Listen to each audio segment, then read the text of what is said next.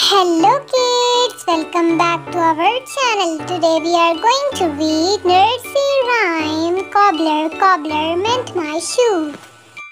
Cobbler, cobbler mend my shoe.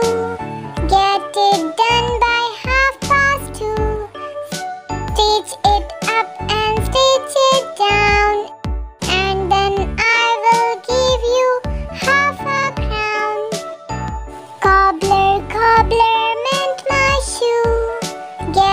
Done by half past two. Stitch it up and stitch it down. And then I will give you half a crown. Thank you so much for watching our videos. It was nice to have you all here. Please do like and subscribe to our channel and we will be uploading more videos of the same. Thank you.